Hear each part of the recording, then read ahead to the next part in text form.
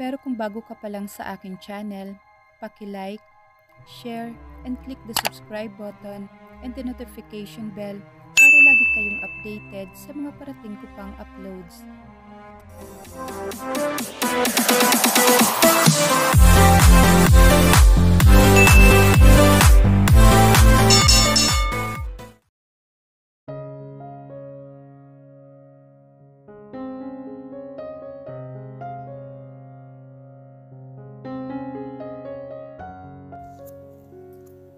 Where's Clark? Matigas ang boses na tanong ni Christian sa sekretarya ng kapatid. The secretary must be new. Hindi sa kanya pamilyar ang mukha nito. Ibig sabihin din ay hindi nito alam kung gaano kalalim ang koneksyon niya sa CEO ng Anderson Laboratory. Pihadong hindi rin nito alam na siya ang dating executive assistant ni Clark Anderson. Namimilog naman ang mga matang napatingala ito sa kanya. Nagtagal sa mukha niya ang mga titig nito. Nakita niya ang pagkikislap ng mga mata nitong matapos siya nitong masda ng maigi. Miss, untag niya sa babae. Napatikim naman ito. Sino po? He's in the meeting, isn't he? Blanco ang ekspresyon sa mukha niya habang nagtatanong dito. Tumango ito bilang paunang kumpirmasyon sa kanya. Yes, sir. Sir Clark is in the meeting. May I know if you have a scheduled appointment with the CEO? No, I don't.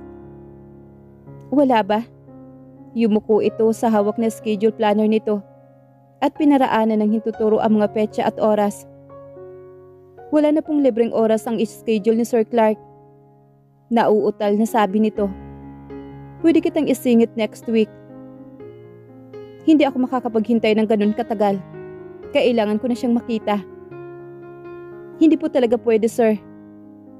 Inignora niya ito at mahahaba ang hakbang na tinungo ang pintuan ng pinaka-opisina ng kapatid niya. Napasinghap naman ang sekretarya at nagkumahog ito sa pagtayo at paghabol sa kanya. Sir, sandali lang po. Hindi po kayo pwedeng pumasok dyan. Imbes na makinig ay tinulak niya ang pintuan pabukas at automatikong napalingon sa kanya ang dalawang lalaking kausap ni Clark. Maging ang huli ay napatuon din sa kanya ang mga titig. Umangat lang ang kilay nito, pati na ang sulok ng manipis nito mga labi. Maya-maya ay nasa likuran na niya ang sekretarya ng kapatid. Hingal na hingal ang babae. Dinig na dinig niya ang bawat paghugot nito ng hangin, kahit na hindi pa niya ito lingunin. Sir Clark, sorry po. Hindi ko po napigilang pumasok. It's okay. Go back to your workstation. Anang kapatid niya rito. Pagkaalis naman ng sekretarya ay itinuon ulit ni Clark ang mga mata sa kanya. Anong kailangan mo? Tanong nito sa kanya. Pinagsalikop nito ang mga kamay at kaswal na isinandal ang likod sa sandigan ng upuan. Kumurba naman ang mahinang ngiti sa mga labi ni Christian. Are you in the middle of the meeting? Nang uuyam naman na napangisi sa kanya si Clark. Yes. Iminuwestiyon nito sa kanya ang dalawang kausap. Parehong nakasuot ito ng business attire. Nasa 40 marahil ang edad ng dalawa. Hindi mo ba nakikita? Dugtong na tanong sa kanya ni Clark. Hindi nawala ang kalmadong ngiti sa mukha niya. Hindi ko na kasi ugaling bumalik pa.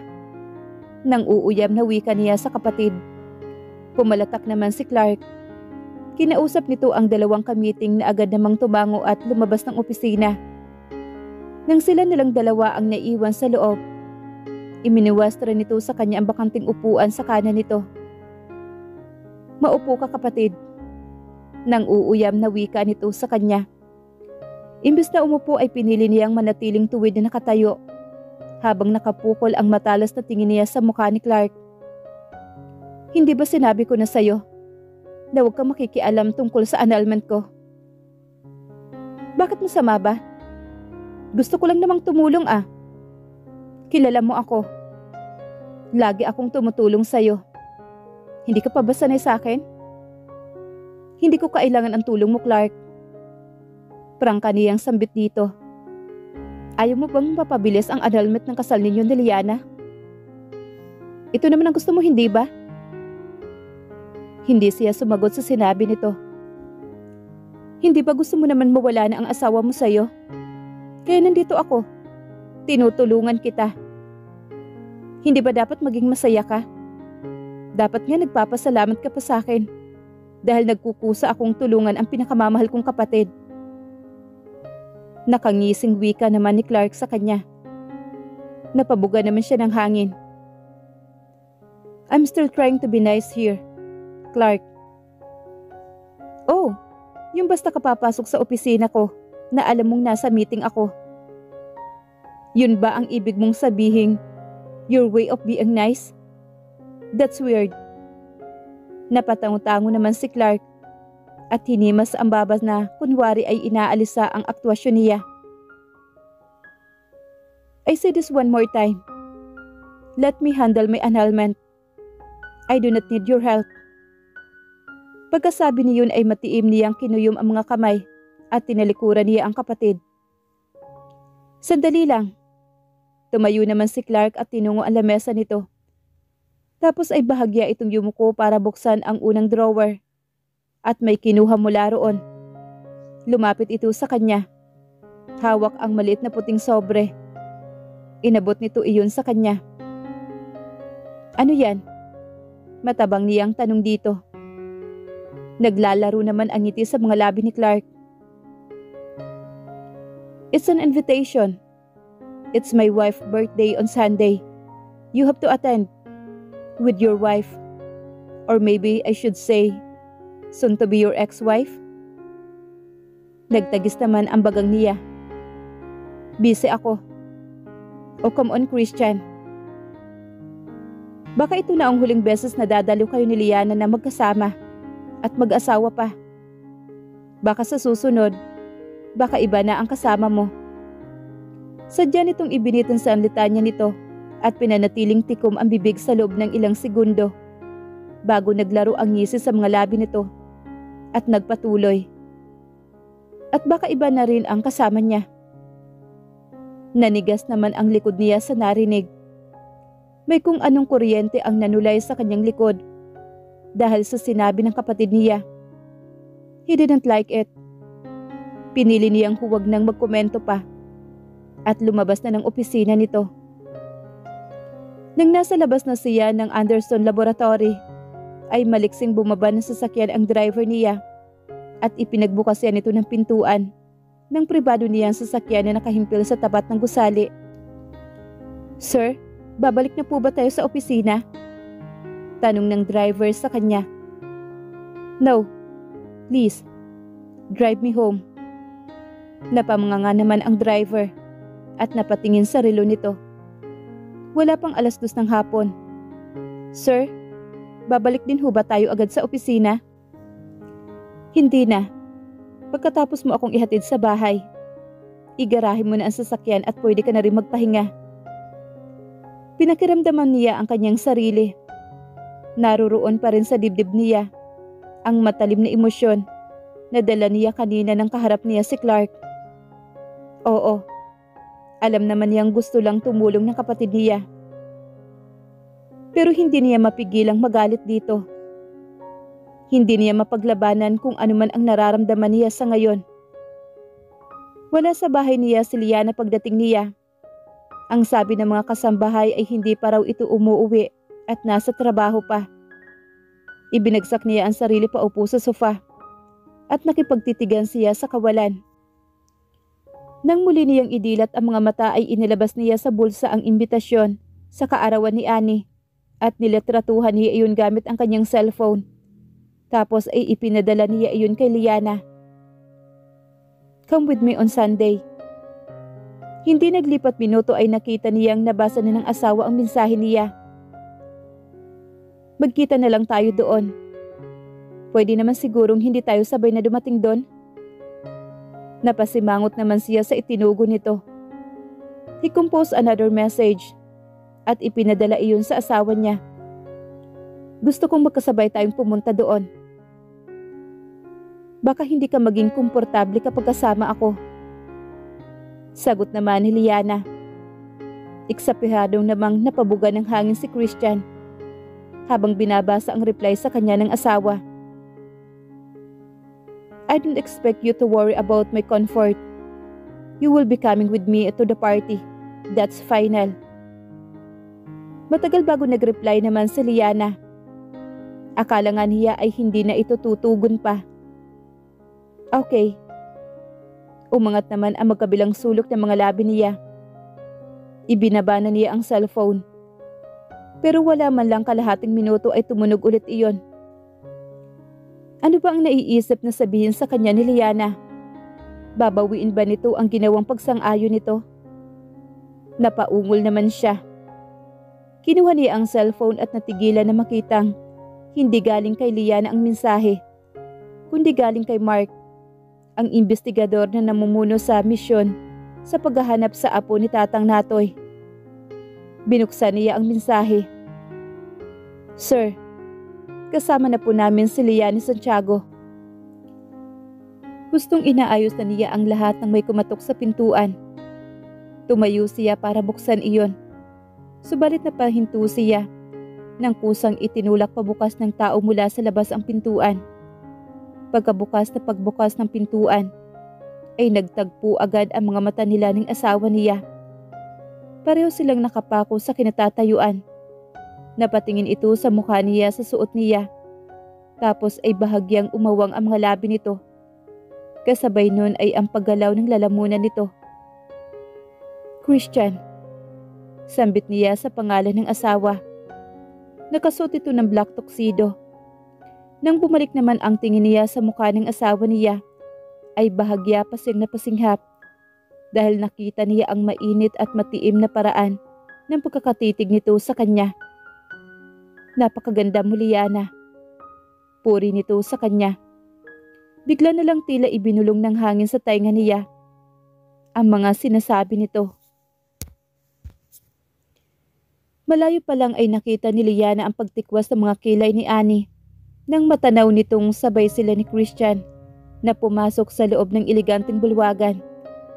Kahit ang mga taong nasa party na iyon ay hindi magawang ignorahin ang kanilang presensya at napapalingon sa direksyon nila. 90% na dahil kay Christian sabagkat mukha itong matayog na tores sa tangkad nito at may taglay pang malakas na karisma na humahatak sa atensyon ng mga tao. Bakit magkasama kayo? Matabang na tanong ni Annie. Mas iniukol nito ang tanong ni Ayon kay Christian dahil sa lalaki na kapaling ang mukha nito. Ramdam niya ang inis ni Annie sa bayaw nito Naiinis pa rin siguro ito sa ideyang gusto ni Christian ni Anal ang kasal nila. Umangat naman ang magkabilang sulok ng mga labi ni Christian. Inirapan naman ito ni Annie. Tapos ay umangkla ang kamay nito sa braso niya na ikinagulat niya. Doon tayo atin, Leana. Ipapakilala kita sa mga kaibigan ko. Anito. Napatingin naman siya kay Christian. Nagkibit balikat lang ito at may kaswal na ngiti sa mga labi nito. Hinila na siya ni Annie, papalayo sa asawa niya. Sumungkit ito ng wine glass mula sa tray ng dumaang waiter at ibinigay nito iyon sa kanya. Tinanggap naman niya iyon at sinimsim ang wine. Magsabi ka nga ng totoo sa akin, Ate Liana. Bakit magkasama kayo ni Christian? Tanong sa kanya ni Annie. Disimulado naman siyang napasulyap sa kinaroroonin ng asawa niya. Kausap na nito si Clark. Pareho ring may hawak na kupita ang dalawa. Tuwid na tuwid ang likod nito at napakatikas tingnan. Sa likod na salamin nito ay isang pares ng seryosong mga mata na matiim kong tumitig. Tumikim siya at muling ibinaling ang tingin niya kay Annie. Nagdesisyon kami ni Christian na maging magkaibigan. Kaya mas maayos na ang pakikitungo namin sa isa't isa sa ngayon. Umawang naman ang mga labi ni Ani at pinukol siya nito ng hindi makapaniwalang tingin. Seryoso kayo dyan? Oo. Alam kong may mga mag-asawa namang nagkakahiwalay at nagiging magkaibigan pa rin. Pero imposible siguro sa sitwasyon ninyo, Ate Liana. Mahal mo si Christian, hindi ba? Mahal mo pa siya. Aminin mo. Kaya hindi pwedeng maging kaibigan na lang ang turing mo sa kanya hanggang tumitibok pa yung puso mo. Napayuko siya at nilaro ng daliri ang hawak na wine. Tama naman si Annie. Hindi pa tuluyang nabubura ang kabuuan ng damdamin niya para sa asawa niya. Napaka-unfair naman ni Christian para sabihing magkaibigan kayo. Gayong alam niya kung ano ang nararamdaman mo para sa kanya. Patuloy naman na atungal ni Annie. Um, ako naman kasi ang unang nagbuka sa ideyang maging magkaibigan kami. Pag-amin niya rito. Pinandilata naman siya ng mga mata ni Annie. Tanga ka ba talaga ate Liana?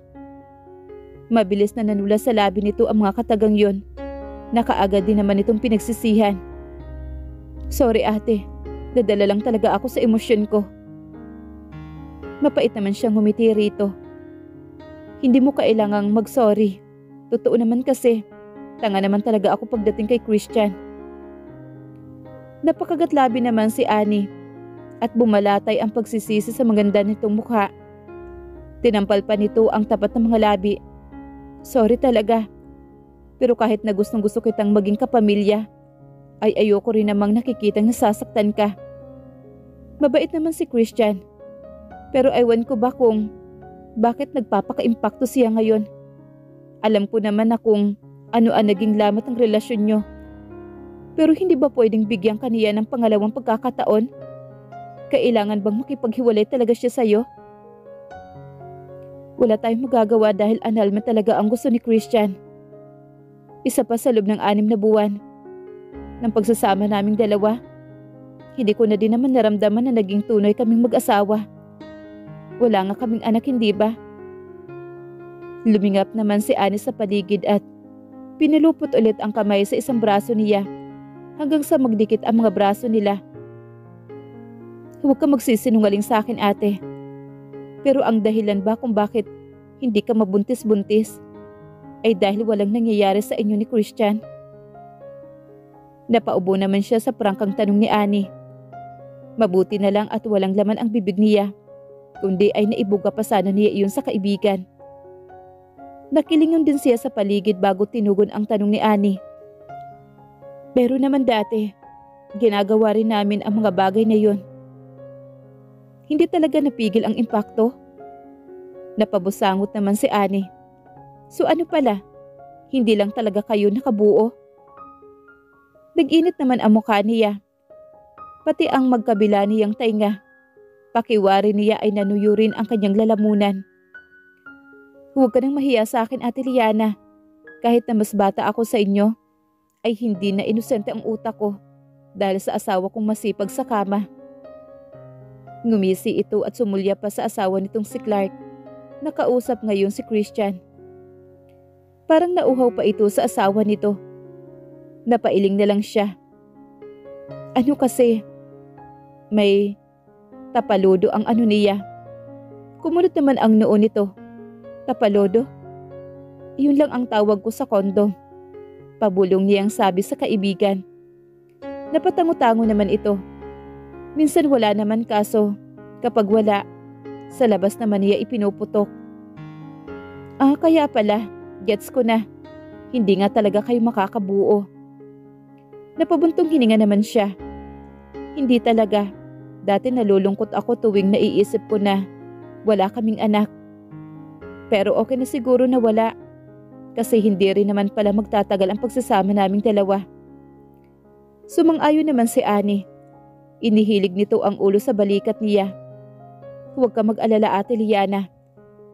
Baka hindi talaga si Christian ang itinadhana para sa'yo. Napangiti siya dahil ramdam niya ang pag-alala ni Anis sa kanya. Baka nga siguro. Darating din ang tamang lalaki para sa iyo ate. Ang lalaking walang ibang mamahalin kundi ikaw lang.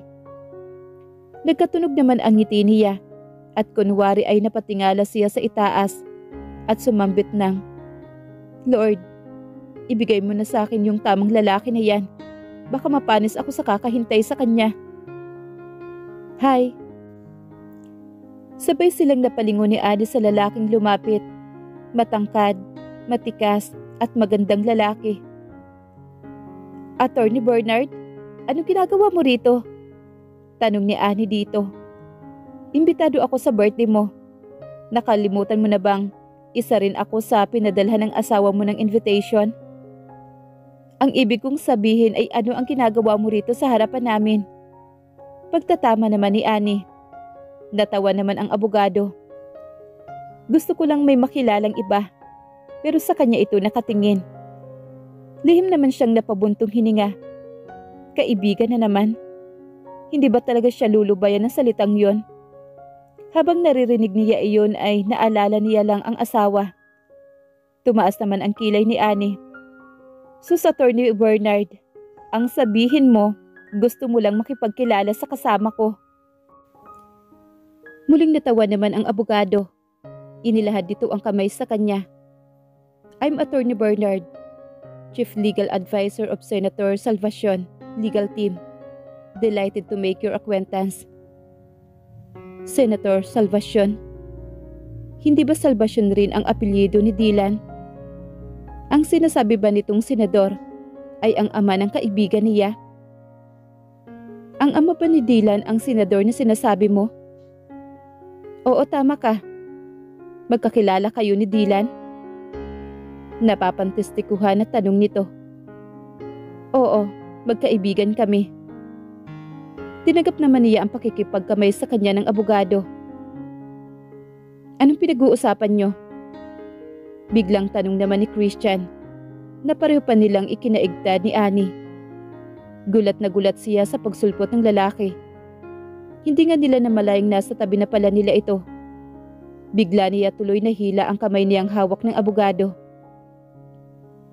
Hinampas naman ni Annie ang kamay ni Christian.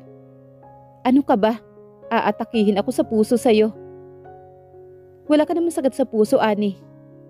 Natabang na sabi nito at hindi itinago ang matalinim na pagsulyap nito sa abogado. Kahit na, nakatirik ang mga matang sikmat dito ni Ani. Ano bang ginagawa mo? Nabitin ang sasabihin ni Ani nang walang kaano-ano'y inabot ni Christian ang kamay niya at kinuha mula sa pagkakahawak niya sa wine glass Gaano na kadami ang nainom mo? Seryosong tanong nito sa kanya na nakatitig naman ito kay Attorney Bernard. Nag-aalangang napatingin naman siya kay Annie at sa abogado. Naaasiwa siya dahil nakatutok sa kanya ang mga mata ng dalawa. Hinihintay ang isasagot niya kay Christian. Si Christian naman ay titig na titig din sa kanya. Kaunti lang, sagot naman niya rito. Stop drinking. Matigas na sabi nito. Sinibat nito nang nagbabantang tingin si Annie. May plano ka bang lasingin ang asawa ko? Matigas ang tembre ng boses nito. Asawa? Tanong naman ni Attorney Bernard. Napapalatak naman si Annie. Asawa? Wow, Christian. Sure ka ba riyan? Baka lang nakakalimutan mong nag-file ka na ng... Annie, Mabilis na sikmat nito sa kanya. Hindi dapat na pinag-uusapan ang mga bagay na hindi dapat pag-usapan.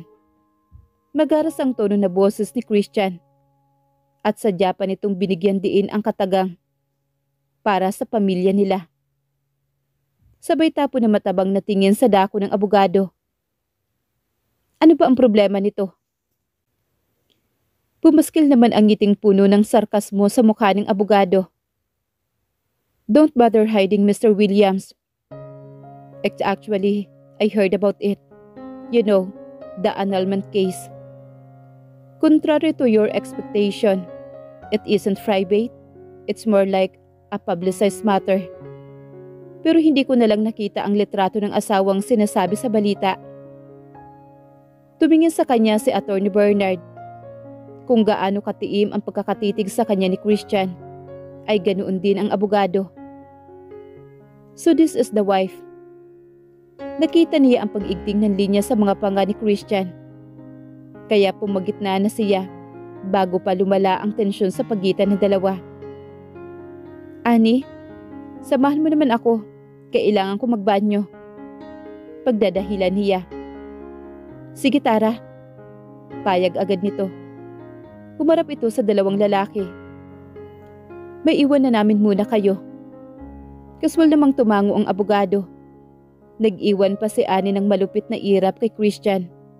Bago sila tuluyang tumalikod